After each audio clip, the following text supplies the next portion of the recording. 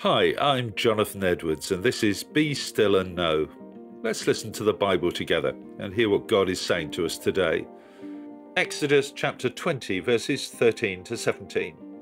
God said, You must not murder, you must not commit adultery, you must not steal, you must not testify falsely against your neighbor, you must not covet your neighbor's house.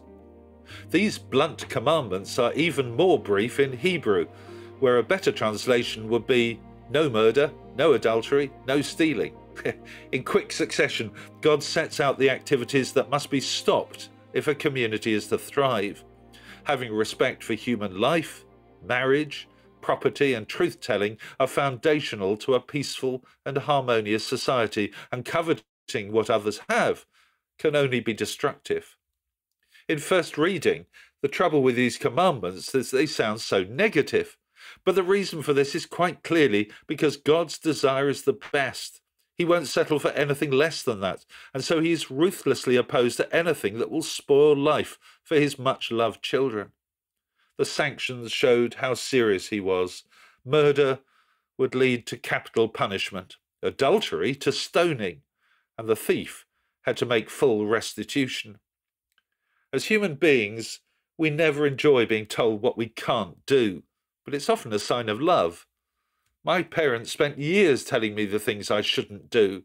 Their rules were often annoying and frustrating, but there's no doubt that they were a sign of their love for me and for my sisters.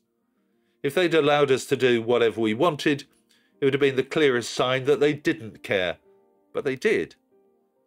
Coveting might well be the most challenging of these five commandments for us, we live in a society in which coveting is continually encouraged.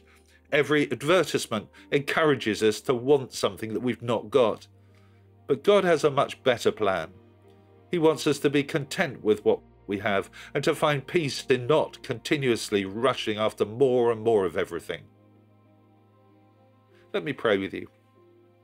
Lord God, we thank you for your complete love for us Help us to believe that your commandments are always an expression of your love.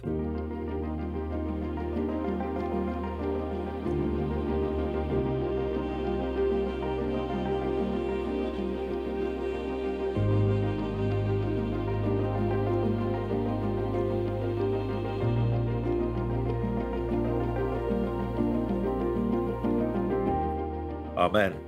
Thanks for listening. I encourage you to join me every day for Be Still and Know here on Premier. You can hear me on podcast at any time.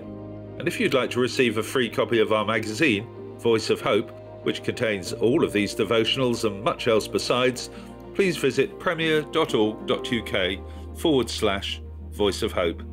God bless you. I do hope you have a great day.